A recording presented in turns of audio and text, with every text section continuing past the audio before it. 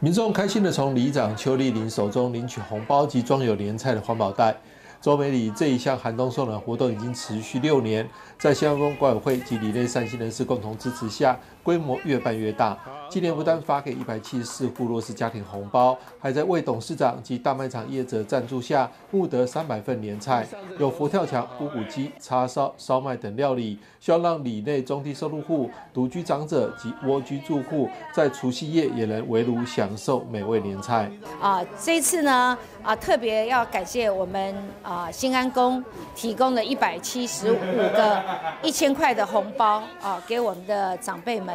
另外呢，啊，大润发呢提供了九十六份的年菜，哈。另外我要特别要感谢的就是呃呃这个魏先生啊，魏董事长哈，他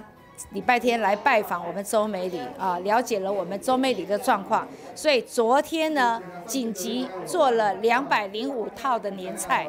啊，这都是饭店级的年菜哦，要送给我们啊周美里啊一些弱势的家庭啊，在这里要特别感谢。同时呢，啊在这次活动当中呢，一直持续啊赞助我们的卢信传老师啊，今年也捐了两万块啊，王润国先生捐了六千块哈。另外啊，我们的徐青海徐委员也捐出他的今年得奖的红包五百块啊，这些善心人士啊，都是里长要真的致上十二万分的感激，谢谢你们的支持，让我可以持续一直做啊，做到今年的第六年。职工们还会将年菜送到行动不便的长者及无法前来领取的弱势户家中，不仅有爱心，更贴心。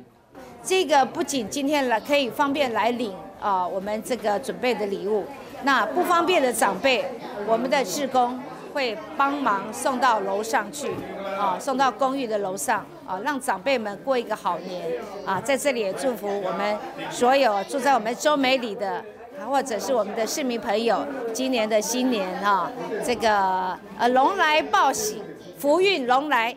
大家。龙年行大运。邱里长与志工们的爱心获得台北市政府方面的肯定，感谢协助政府照顾关怀更多需要帮助的人。很谢谢里长，其实都很照顾我们社区里面的弱势民众，然后我们其实服务的很多个案也都是跟里长这边一起合作，然后在年节的时候也特别谢谢。里长，也连接了很多资源，让我们的呃弱势民众都可以过个好年。社群叫你交朋友的，呃，分别破你探钱，这拢袂使甲相信。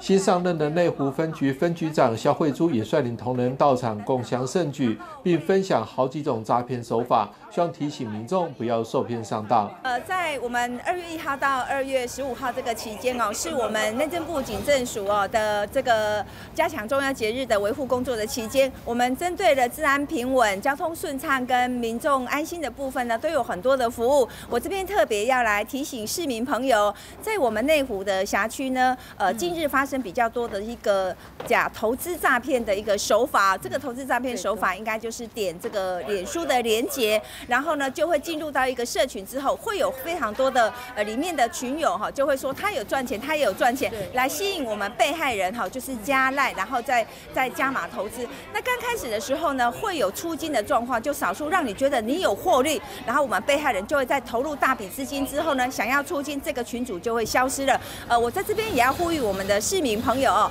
接到这种可疑的讯息或是电话的时候，一定要冷静三十秒，一听二挂三查证。呃，我不要相信这个名牌标股，保证获利，稳赚不赔，像这样的话术，事实上都是诈骗，也造成我们近日呃这个内湖区的居民呃比较多的财产损失诈骗。我们内湖分局在这边提醒所有的市民朋友，都能够守护好自己的财产。今天也非常感谢周美里的那个邱旅长哦，跟我们的呃对我们市民照顾的。呃，非常的多哈，在这边办理的一个呃领物资的一个活动，我们也祝福呃，我们也希望能够跟这个里长一起合作，来照顾我们内湖地区的乡亲。记者张启腾台北报道。